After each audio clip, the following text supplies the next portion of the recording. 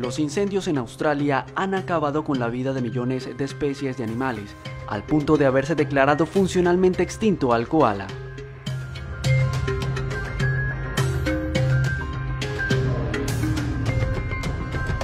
Pero en medio de tanta desgracia en la preservación de nuestro planeta, hay una historia que terminó con un final feliz.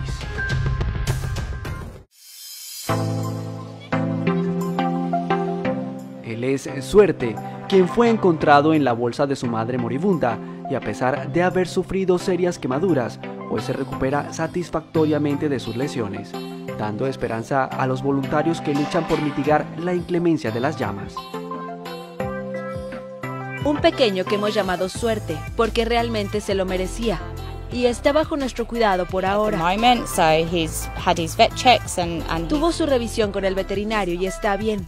Solo que aún no está listo para volver.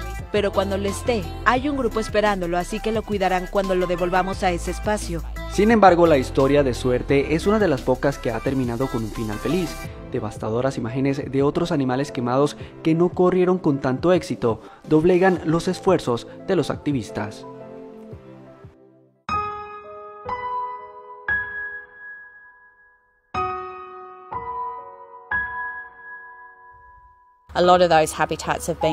Muchos de esos hábitats han sido destruidos. Creemos que muchos han muerto en los incendios. No creemos que muchos hayan sobrevivido. Y eso es porque no hemos visto la cantidad de animales que vengan por cuidados o que necesiten rescate que normalmente esperaríamos recibir.